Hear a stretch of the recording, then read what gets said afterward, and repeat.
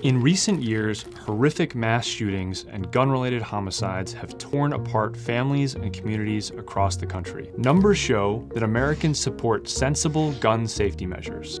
But even in the face of tragedy, certain elected officials have failed to act. And believe it or not, gerrymandering is partially to blame.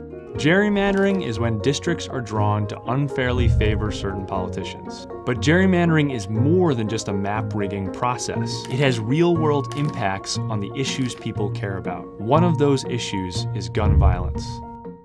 Take the notoriously gerrymandered state of North Carolina, for example.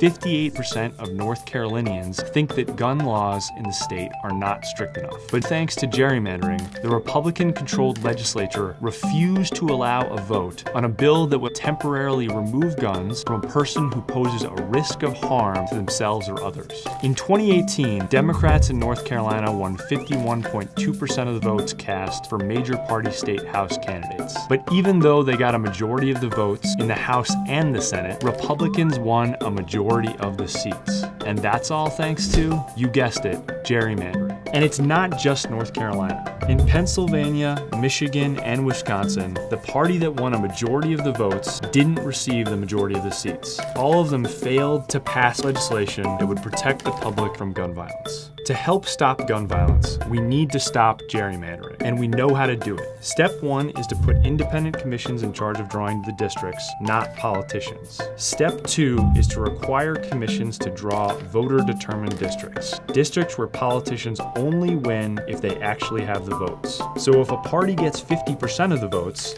they also win 50% of the seats.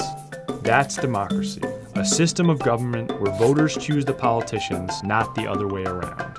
Share this video if you think districts should reflect the will of the voters, not politicians.